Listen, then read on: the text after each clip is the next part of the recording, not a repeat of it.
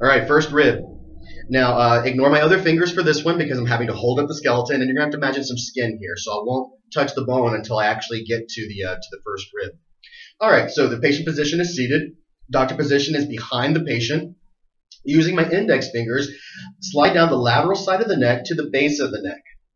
With index fingers in front of the trap, palpate anterior to the trap and posterior to the clavicle by wrapping the trap. Then palpate superior to inferior and slightly lateral to medial for the bony resistance. There's your first rib.